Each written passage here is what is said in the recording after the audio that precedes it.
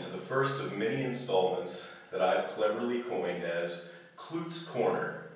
I come to you live from the tub in the friendly city of Port Elizabeth in South Africa. This is no joke, I'm really in the bathtub. Let me tell you a little bit about how I got here. As you should already know, I am studying abroad here in PE, as the locals call it. My journey began at the Cincinnati Airport in the Commonwealth of Kentucky. I flew from there to Atlanta Airport. From Atlanta, I took a 16-hour flight to Johannesburg, South Africa, all the way across the Atlantic Ocean. This is the first time I've been out of the country, let alone the continent. From Johannesburg, I took a small flight on South African Express to Port Elizabeth. We got here kind of late because our flight was late, and uh, the first night was a little hectic. Everyone got settled in and we realized that our adapters for the electricity that we purchased on Amazon before we came did not work. And Wi-Fi was rather hard to come by. The next morning we started with an early breakfast at a local coffee place called Caffeine. I had a mini breakfast which consists of two eggs, a piece of toast, of course I had rye toast, and two slices of bacon. The coffee there was delicious.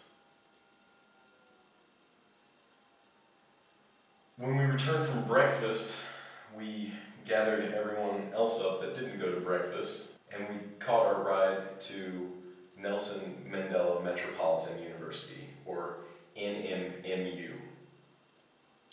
There we took a campus tour of the entire campus, which looks oddly enough a lot like Northern Kentucky University's campus. I saw a Kit Kat machine.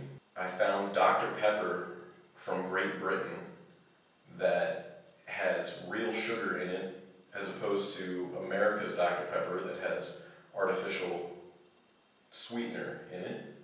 But it tasted a lot better.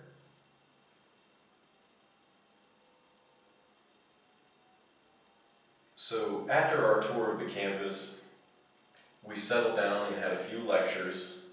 We also talked with our contact Chris who told us a little bit more about the details of people we can interview for our documentaries.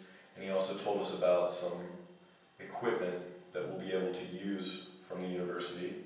It wasn't long, and all of us, and I mean all of us, including the professors, were showing signs of jet lag.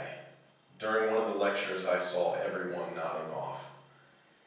I, too, was kind of sleepy, but I pulled through we went to the Pick n Pay, which is the local grocery store here, and got supplies and also bought some power adapters that actually work.